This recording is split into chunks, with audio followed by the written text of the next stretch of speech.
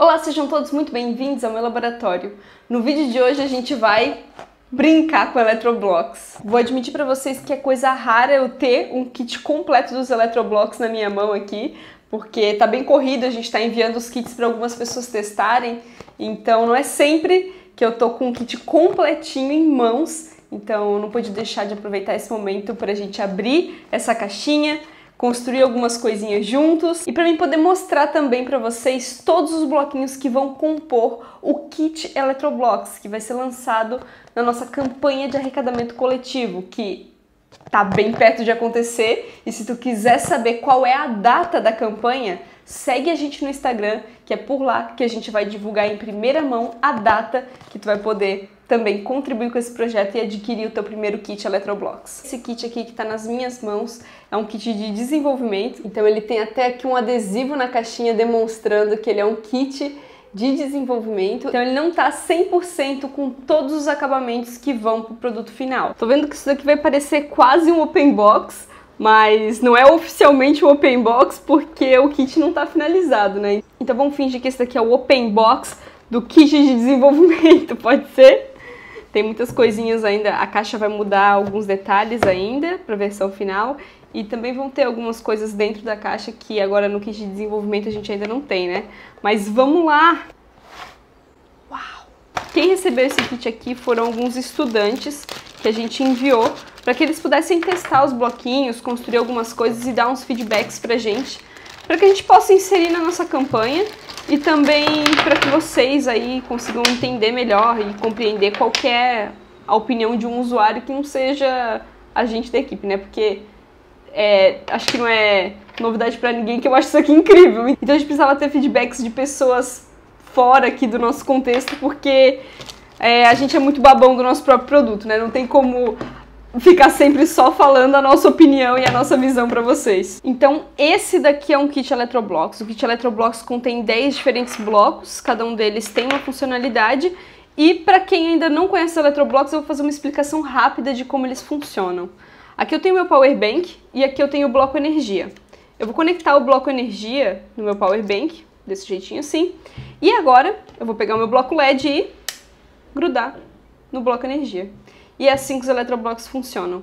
Então são bloquinhos magnéticos que funcionam como componentes eletrônicos e é só conectar para ver a eletrônica acontecer. Eles também são magnéticos, não permitem que conexões erradas sejam feitas entre eles. Então, agora é só a gente modificar esse circuito inserindo mais bloquinhos, como por exemplo, inserir um potenciômetro entre o LED e a bateria. Então, desconecta o LED, insere o potenciômetro, insere o LED e agora o que acontece é que eu posso controlar a quantidade de energia que vai para o meu LED. Então ele não vai só acender quando está conectado na energia, como como estava anteriormente, né? Agora eu posso controlar. Os bloquinhos eles são divididos em categorias, então as categorias são representadas pelas cores aqui. Os bloquinhos azuis são os blocos controladores, eles vão controlar a energia de alguma forma. Os bloquinhos verdes são os atuadores, então eles vão fazer com que a energia se transforme em alguma coisa. Vocês viram aqui o LED, ele transformava a energia em luz. O buzzer transforma a energia em som e ele é bem irritante, olha só. Bem irritante mesmo. E esse daqui é o bloquinho do motor, que ele vem com um acessório que é o nosso motorzinho, né? Então esse daqui vai transformar a energia em movimento.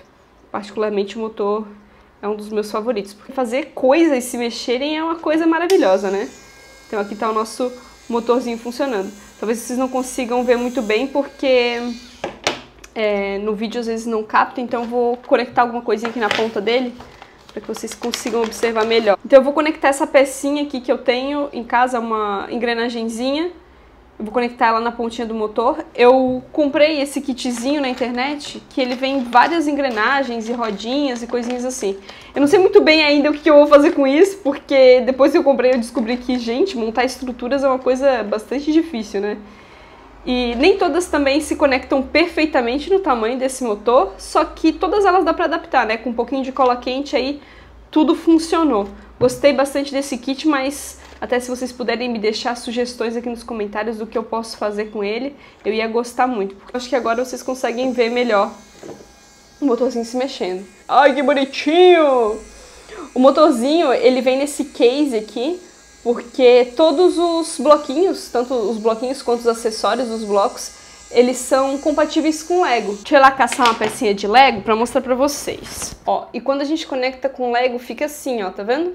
Os bloquinhos eles se encaixam embaixo do Lego, porque eles têm essa abertura aqui que dá para encaixar, dá para conectar. E além dos bloquinhos, também, por exemplo, o acessório do motor conecta aqui no Lego. Então eu posso conectar tanto o meu motor. Então é bem legal a gente poder conectar aqui no Lego, porque, bom, não sei se vocês são tão fãs do Lego quanto eu, mas dá pra construir um monte de coisa com esses bloquinhos, né? Claro que a gente também não fez Electroblocks pensando em só se conectar com o Lego, né?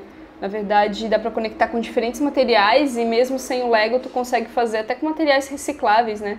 Construir projetos bem legais. Um material que eu gosto muito de usar junto com os bloquinhos é papelão, porque dá pra gente recortar facilmente, colar com cola quente e tudo funciona lindo e maravilhoso. Até acho que se vocês se vocês derem uma olhadinha depois lá no nosso Instagram, na máquina de doces, vocês vão ver que eu usei muito papelão para fazer aquele projetinho. Também temos os blocos amarelos, que eles fazem com que a gente possa enviar energia para algum lugar.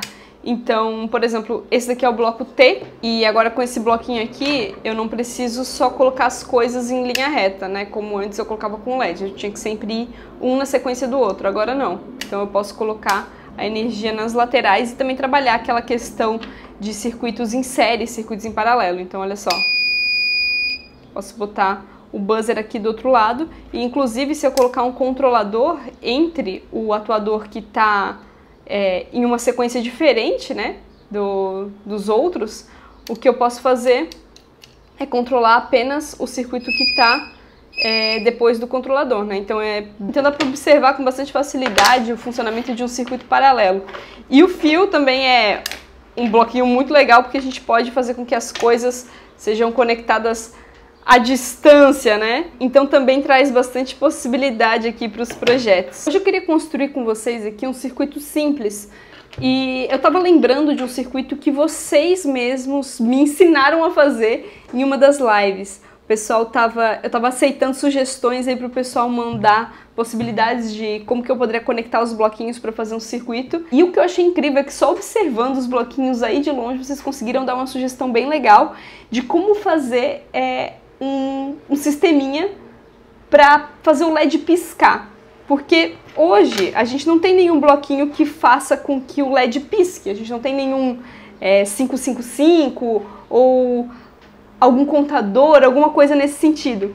Então eu fiquei bem surpresa quando me mandaram para construir esse circuito e eu vou tentar replicar ele aqui com vocês. Eu não lembro 100%, mas acho que vai ser uma atividade bacana para a gente fazer juntos. Algumas coisas que eu lembro, eu sei que a gente utilizava o sensor de luz para controlar o LED. Essa daqui é a ligação básica do sensor de luz, onde a gente tem o bloco energia, sensor de luz e o LED. E agora, quando não tiver luz, ele apaga e quando tiver luz, ele acende. Né? Essa é a, a configuração do sensor de luz. E tudo bem, se a gente ficar aqui mexendo a mão aqui em cima, a gente vai conseguir fazer com que o LED pisque, certo? Só que a ideia era um pouquinho diferente, é fazer com que isso fique automatizado e que a gente possa escolher qual que é a velocidade que o LED vai piscar. Então isso parece bem elaborado e na verdade eu nem sabia que daria para fazer isso com os bloquinhos. Então o que a gente fez foi utilizar um T, pelo que eu me lembro. Então agora eu tenho a minha sequência do sensor de luz e o LED apenas é, nessa direção aqui do bloquinho e eu posso conectar outros bloquinhos que vão receber energia de maneira independente aqui nas laterais do T. Então eu vou inserir o potenciômetro, não, vou inserir o motor primeiro, aqui ó, beleza. E eu acredito que a ideia era eu inserir alguma coisa nesse, nessa pontinha aqui do motor que conseguisse tampar e fazer esse trabalho do meu dedo aqui. Então eu vou procurar uma fitinha, alguma coisa que possa tampar a luz. Bom, eu tava caçando aqui alguns materiais e encontrei essa caixinha aqui.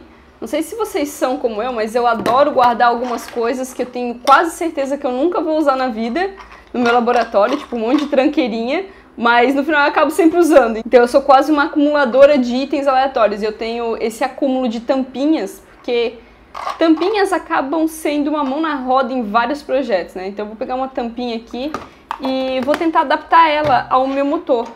Eu tô pensando em colar ela aqui com cola quente, assim desse jeitinho, pra gente poder utilizar ela para tampar a luz. Ela tá aqui encaixou bem aqui no meu sensor de luz, então Eu acho que vai ser um, um bom material para tampar e liberar a luz. Eu vou tirar esse conectorzinho aqui que eu botei para vocês e vou deixar o motor sozinho e eu vou colar com cola quente desse jeitinho assim. Não tem problema passar cola quente nessa parte aqui do motor, depois é bastante fácil para remover. Então eu vou pegar minha velha e boa amiga cola quente e vou tacar um pouquinho aqui. Só tem que tomar cuidado também para não passar cola quente lá para dentro do motor e acabar é, entupindo ali, né? Então vou botar só na pontinha mesmo e vou botar minha tampinha desse jeitinho aqui.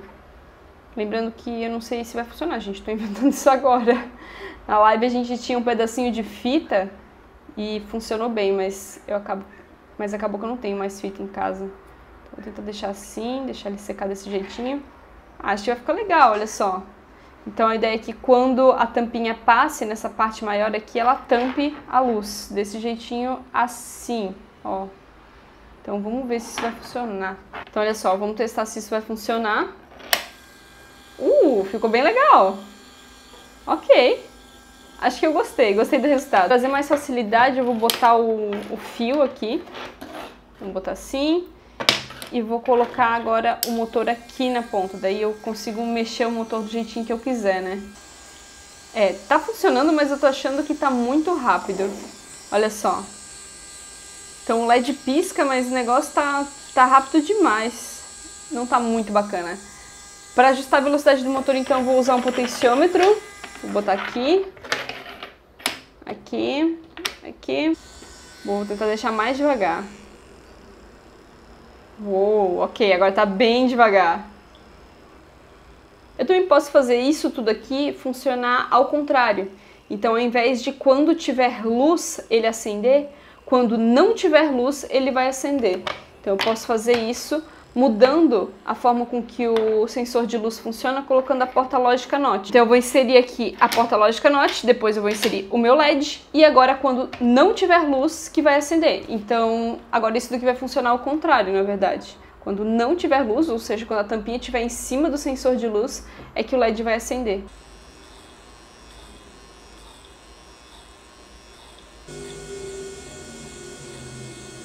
Como eu falei pra vocês, isso aqui foi uma aplicação que não foi a gente que inventou, né? Foram vocês que me pediram para inserir esses bloquinhos e acabou saindo esse pisca-pisca que eu nem imaginava que seria possível fazer com os bloquinhos. Achei bem criativo da parte de vocês. Agora, ah, agora para remover, por exemplo, essa tampinha aqui do motor é bem fácil, né? Tipo, é só eu tirar cola que a gente tá aqui e mesmo com a mão eu consigo arrancar ela fora, né? Então é bem fácil da gente conectar com algum material e depois remover. Queria construir alguma coisa junto aqui com vocês, alguma outra aplicação.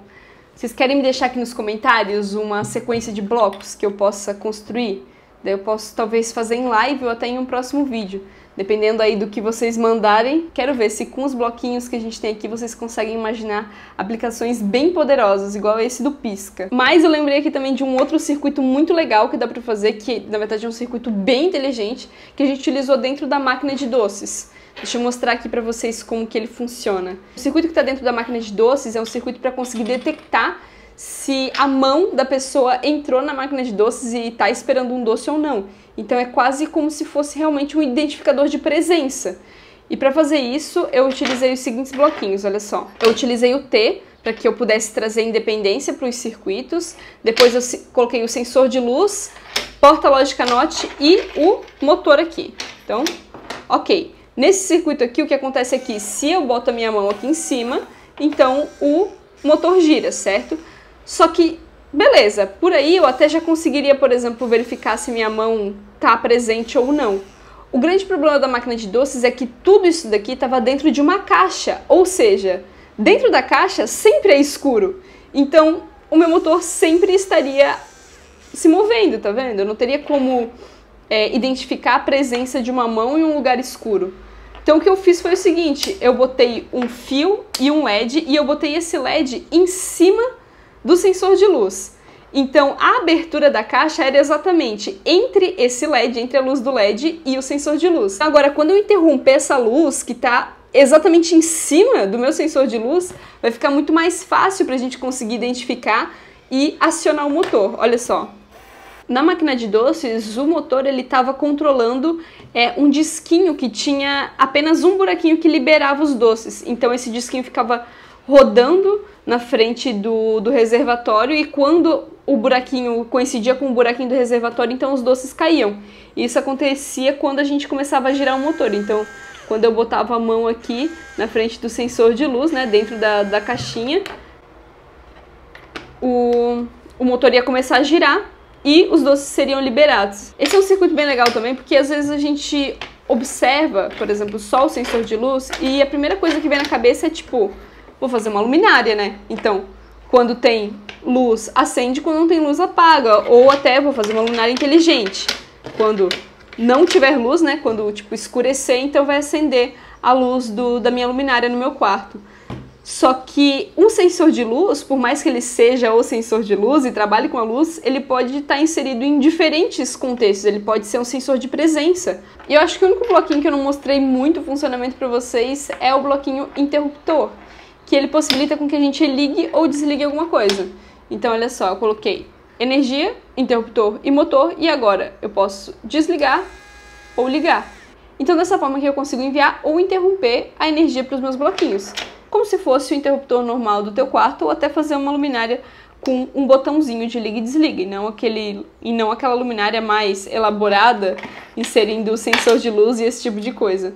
Mas nada te impede também de utilizar os dois bloquinhos juntos e fazer com que tu possa desligar o circuito, ó, então agora nada está funcionando, então eu posso botar a mão aqui, nada vai funcionar porque está desligado, ou fazer com que o circuito volte a funcionar. Agora que eu já fiz as minhas construções por aqui, eu tô ansiosa de verdade para ver como que vocês é, vão elaborar sugestões de circuitos para mim construir aqui com os eletroblocos. Acho que deu para perceber nessa brincadeira que a gente está fazendo aqui com os blocos o verdadeiro propósito dos eletroblocos, que eles são bloquinhos que funcionam como componentes eletrônicos que vão servir como material de criação para todo mundo que quer começar a dar os seus primeiros passos nesse mundo da eletrônica. A eletrônica às vezes é bastante complicada para quem está começando, porque sempre a gente precisa de uma protoboard, fios jumpers, às vezes a gente precisa soldar alguma coisa, e às vezes no início começar a brincar com eletrônica, assim, a construir seus primeiros projetos, pode ser bastante complexo, principalmente porque a gente tem acesso a materiais muito complexos de como essas coisas funcionam. E nem sempre esses componentes eles são compatíveis entre si logo de cara. Todas essas barreiras fazem com que algumas pessoas se distanciem dessa área. E percam a possibilidade de entender o quão mágica é essa ciência, o quão, quanta coisa a gente consegue construir com isso. Então os eletroblocos são a porta de entrada para o mundo da eletrônica, onde as pessoas vão poder explorar os componentes eletrônicos pela primeira vez, compreender seus nomes, e inclusive em cada um dos bloquinhos tem aqui a marcação do componente eletrônico convencional, né? Então, aquele esquemático de circuito. Então, quando a pessoa começar a ter esse contato com os eletroblocos, ela já vai até levemente se acostumar com uma representação mais técnica desses componentes eletrônicos. Depois, quando ela se encantar por essa ciência e decidir explorar isso mais para frente, fora dos bloquinhos, começar a desejar evoluir nesses assuntos da eletrônica, vai ter até uma facilidade aí de encarar todos esses conceitos mais complexos. Espero que agora tu tenha conhecido um pouquinho melhor dos eletroblocos. Me conta aqui nos comentários se tu já conhecia esse produto, se tu já sabia que a gente estava desenvolvendo isso daqui, ou se tu consegue imaginar alguma coisa que tu construiria com os eletroblocos. Me detalhe aqui nos comentários, a gente vai adorar saber. Espero que vocês estejam tão ansiosos pro lançamento quanto eu e não esqueçam de continuar de olho lá nas nossas redes sociais, porque é por lá que a gente vai trazer as informações mais fresquinhas da data do lançamento dos eletroblocos. Então é isso aí, meu povo. Um beijo para vocês e a gente se vê no próximo vídeo. Tchau!